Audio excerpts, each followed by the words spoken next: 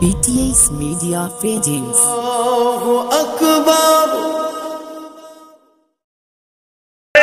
এদের সামান্য বোম বন্ধু হুমকিতে যদি পিছিয়ে যান তাহলে আগামী দিনে আপনার মায়ের রেপকে কেউ রুখতে পারবে না। আগামী দিনে আপনার বেটির রেপকে কেউ রুখতে পারবে না। এই যুবকগুলোকে নিয়ে বাংলার অলিতে গলিতে একটা বিশাল ইউনিট তৈরি করেছি। এই ইউনিটের দ্বারা কি করতে পেরেছি আমি জানি না। কিন্তু কখনো কারও ক্ষতি করিনি এটা আমি জানি। এই ইউনিট দ্বারা কখনো কারও উপকার করতে পেরেছি কি জানি না। কিন্তু কারও অপকার করিনি এটা জানি। এই ইউনিট দ্বারা কখনো কারও জুলুম করিনি এটা আমি জানি। কিন্তু ইউনিট দ্বারা চার হাজারের উপরে নির্দোষ মুসলিম যুবক মুসলমান হওয়ার জন্য মিথ্যা মামলায় জেলে ভোগছিল। চার হাজার ছেলেকে এই সংগঠন দ্বারা আমরা জামিন করতে পেরেছি, এটা জানি। আজকে ইউনিট দ্বারা কি হয়েছে আমি জানি না। চুচুরাই যখন খোদার দুশো তিন দু বছরের মসজিদ দুশো দু বছরের মসজিদ, চুচুড়ার মসজিদ, তালা মেরে দিয়েছিল এই টিএমসি সরকার। শুনে রাখো টিএমসির সঙ্গে আমার ব্যক্তিগত কোনো ঝগড়া নাই, ব্যক্তিগত কোনো আপনও নয় কেন মমতা আমার খালাও নয় ফুপুও নয় তোমাদের কারও আত্মীয় হতে পারে, সেটা তোমাদের ব্যাপার। কিন্তু আমার সঙ্গে তার ব্যক্তিগত কোনো ঝগড়াও নাই, ব্যক্তিগত কোনো আত্মীয়তা নাই। চুচুরার মসজিদে, দুশো দু বছরের মসজিদে তালা মেরে দিয়েছিল টিএমসি সরকার। তখন সেই জায়গায়, এই সংগঠন দ্বারা চুচুড়ার রাজপথকে অবরোধ করে দিয়ে আলে সুন্নতাল জামাতে চোদ্দ, পনেরো হাজার সৈনিক নিজের জানকে বাজি রেখে র্যাপের ভয় করে নে, প্রশাসন গুলি করে বলছে, পুলিশ ভয় করে নে। এই মুজাহিদরা, এই নবী প্রেমিকরা, এই খোদা প্রেমিকরা আল্লাহর জমিনে প্রমাণ করে দিয়েছে যে আমরা জান দিতে রাজি আছি। আল্লাহ ঘরের বেউ যদি চাই না, ইরা দাঁড়িয়ে দাঁড়িয়ে সেই দিন কঠিন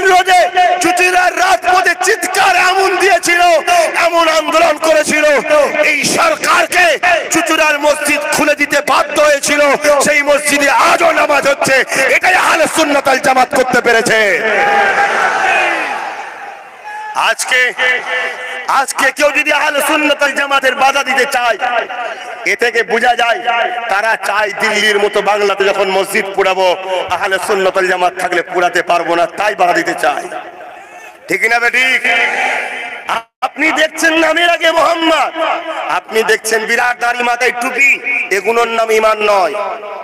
যদি কেউ জুলুম করে, সে কখনো মুসলমান হতে পারে না। শুনে রেখে দাও। কেন? আল্লাহ রসুল বললেন, অন্যায় দেখলে তিনটে গুণ থাকা দরকার। এই তিনটের মধ্যে কোনো একটা যদি না পাওয়া যায়, তার মধ্যে ইমান নাই। নাম্বার ওয়ান অন্যায় দেখলে হাত প্রতিরোধ করা। যদি না থাকে, দ্বিতীয়তে চলে আসো। মুখ দিয়ে কমসে কম প্রতিরোধ করা। যে প্রতিরোধ আমরা করে চুচুড়ার মাদ্রাসা মসজিদ খুলেছি। তিন নম্বর, যদি মুখ দিয়ে প্রতিরোধ করতে নাও পারে, রসুল বলছে, কমসে কম অন্তর দিয়ে ঘৃণা করা। এই তিনটের মধ্যে কোনো একটা যদি না থাকে, রসুল বলছে সেই ইমানদার নয়? আপনি তো জোর করে প্রতিবাদ না করে হাত দিয়ে দ্বিতীয় নম্বর মুখ দিয়ে, তৃতীয় নম্বর অন্তর থেকে ঘৃণা না করে, তার মধ্যে যদি ইমান না থাকতে পারে, আর যে খোদ নিজে গরিবদের লুটছে করে আবাসনের ঘর আল্লাহর তারা তার মধ্যে ইমান আছে মনে হয়? আজ প্রত্যেকটা মুসলিম পাড়াতে চারটে পাঁচটা করে মুসলিম সোনাতে কাফের ঘুরে বেড়াচ্ছে। শোনেন এই কাফের গুলোকে যদি চিনতে না পারেন আগামী দিন আপনাদের ঘরে ক্যাম্পে যেতেই হবে। আর এই কাফের গুলোকে যদি একুশের আগে চিনতে পেরে যান আমি পীরের বাচ্চা চ্যালেঞ্জ দিচ্ছি। যে ক্যাম্প তৈরি করেছে ওই ক্যাম্পে নরেন্দ্র মোদী অমিত শাহকে ঢুকাবো। একটা ভারতবাসী যাবে না করা দিকে না।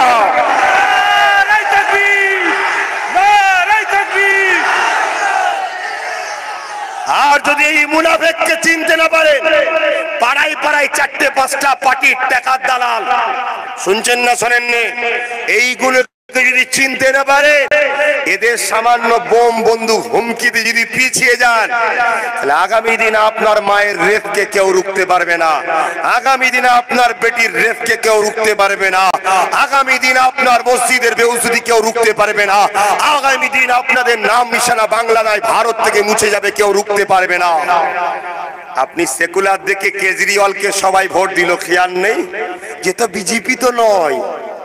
এ তো বিজেপি তো নয়। টাকা রিপিট আর উপিট।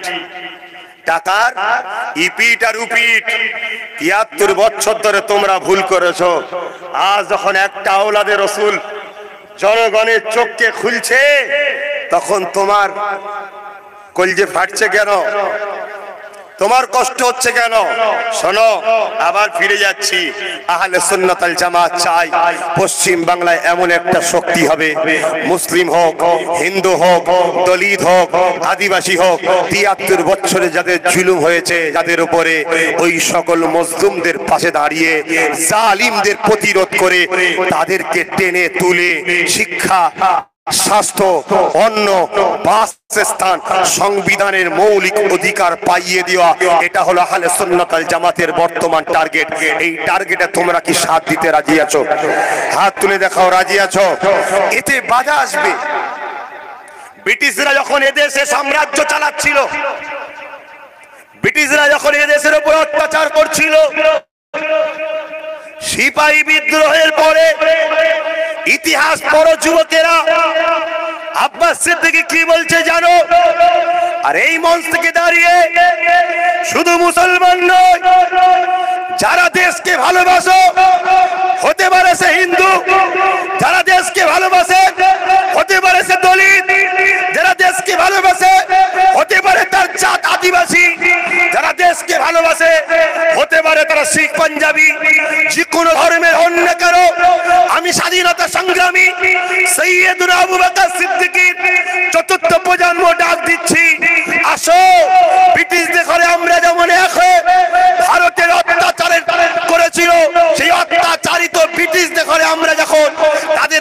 থেকে ভারতকে মুক্তি দিয়েছিলাম। আজকে সেই ভারতবাসী নিরানব্বই পার্সেন্ট মুসলিম দলিত আদিবাসী, কমজোর গরিবদের ঘরে মাত্র টেন পার্সেন্ট লোকেরা আজকে দীর্ঘ তিয়াত্তর বছর ধরে অত্যাচার করছে। আর নয়, এবারে আমরা সেই টেন পার্সেন্টের হাত থেকে এই নব্বই পার্সেন্ট মুসলিম দলিত আদিবাসী পিছিয়ে পড়া গরিব হিন্দু সম্প্রদায় এসটি এসবি সবাই এক হয়ে একটা নতুন সূর্য তুলব ভারতে যেখানে আমরা সবাই মৌলিক অধিকার সমান পাবো যে যা ধর্ম করবে মসজিদে মুসলমান যাবে, মন্দিরে তারা যাবে, গির্জায় গির্জার লোক যাবে, যে যার সৃষ্টিকর্তা যখন মরণের পরে আল্লাহর কাছে জবাব দেবে, কিন্তু দেশ আমরা সবাই মিলে আন্দোলন করে লড়েছি, সবাই মিলে জীবন দিয়েছি। যদি কেউ দ্বিতীয়বার টুকরো করবে, এই বাংলার বুকে এমন একটা পাওয়ার তৈরি করব, তাদেরকে নাম নিশানা মুটিয়ে দিয়ে, আমরা মুসলিম দলিত আদিবাসী, একে অপরের সাথ দিয়ে, আমার রসুলের হাদিস অনুযায়ী যে মানুষের উপরে দয়া করে না সৃষ্টিকর্তার দয়া তার উপরে হবে না। তাই হিন্দু হোক, দলিত হোক, আদিবাসী হোক, যে সম্পদের হোক, গরিব হলে, অসহায় হলে, মুসলিম হলে, ওর উপরে দয়া করব, সৃষ্টিকর্তা দয়া করবে। এই ঐক্যের দরকার আছে না নাই? চিৎকার দিয়ে আছে না নাই? আজকে আব্বাস সিদ্দিকি যখন মাঠে নেমেছে, মুনাফেক আর সন্ত্রাসদের কলজে শুকিয়ে যাচ্ছে। কেন? এরা ইতিহাস জানে।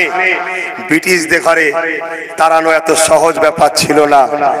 যখনই আলেম সম্প্রদায়, শোনো আলেম ভাইরা যারা আছেন, জানি না কে থেকে শুনছেন, যখন সিপাহী বিদ্রোহের পর অনেক অত্যাচার শুরু হয়েছিল, আলেম সম্প্রদায় যখন মাঠে নামলো, তখন ব্রিটিশদের ঘুম হারাম হয়ে গেল।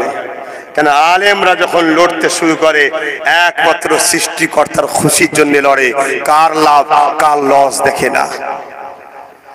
আজ দু হাজার একুশে একটা কথা আব্বাস সিদ্দিকি দু হাজার একুশের জন্য বলেছে, এই নিয়ে পাড়ায় পাড়ায় সমালোচনা হচ্ছে। আজকে আমি জানতে চাই, দিল্লি দেখে তোমাদেরকে শিক্ষা নেওয়া দরকার আছে না নাই? বাষট্টিটা কেজরিওয়ালকে দিল, তার মধ্যে কি মুসলমানরা সাপোর্ট করেনি? আজকে সেই দিল্লি কিছু মানুষ বলবে, দিল্লির প্রশাসন তো কেন্দ্র সরকারের হাতে চলে, আমিও জানি, কিন্তু তুমি কবার অনশনে বসলে, কবার রাস্তায় নামলে, কবার মিছিল করলে, কবার দিল্লির মুখ্যমন্ত্রী হিসাবে সুপ্রিম কোর্টে কেস করলে আমার দিল্লিকে আগুন ধরিয়ে দিল, আর দিল্লিতে কিছু হওয়া মানে তাম পৃথিবীতে ছড়িয়ে গেল। আমার ভারতে যে একদল সন্ত্রাস প্রশাসনের ইউনিফর্ম পরে জনগণের উপরে অত্যাচার করছে, এই বার্তাটা পৃথিবীর কাছে গেল, এটা আমার ভারতের জন্য কি কলঙ্ক নয়? আমার ভারতের জন্য কি অপমান নয়? এই জায়গায় দাঁড়িয়ে থেকে শিক্ষা দাও কালকে যাকে সেকুলার মনে করছ, কালকে যাকে তোমাদের ঘুমটা দিয়ে দরদি মনে করছ, আব্বাস সিদ্দিকির কথায় বেজার হচ্ছ, তাকে যদি সব পাইয়ে দাও, আর গত দুদিন আগে সে যে উড়িষ্যাতে গোপনে গোপনে মিটিং করছে। ইতিহাসের খবর রাখো। আজকে পশ্চিম বাংলার কলিকাতায় এনআরসি সি এর বিরুদ্ধে যখন এনপিআর এর বিরুদ্ধে যখন কেন্দ্রের জালিম সরকারের বিরুদ্ধে যখন পশ্চিম বাংলার নাগরিক আন্দোলনের জন্য পারমিশন চায়, তখন আমার বাংলার মুখ্যমন্ত্রী তাকে পারমিশন দিচ্ছে না, করতে হবে না। আর এদিকে আজকে অমিত শাহ আসছে, তাকে পারমিশন দিচ্ছে। এই গটাপ কেসটা কি বুঝতে এখনও বাকি আছে তোমাদের এরপরেও যদি কেউ বলে আব্বাস সিদ্দিকী যা করছে, বিজেপি চলে আসবে, জানবে ওই হলো পাকা বিজেপি। কথা বুঝছেন না? কেন রসুলকে যে বিজেপি চলে আসবে ভাবতে পারে, মনে হয় সে মোনাফেক ছাড়া আর কিছু কি? হ্যাঁ? ওর যদি মনে হয় আব্বাস সিদ্দিকি যা করছে, বিজেপি চলে আসবে, ও যদি ইমানদার হয়, তাহলে আমার ঘরে যাওয়ার সঙ্গে কথা বলা দরকার তো। ঠিক না, বেঠিক। যে হুজুর, আপনি যা করছেন, আমরা তো আপনাদের ভালোবাসি, আমরাও তো মুসলমান।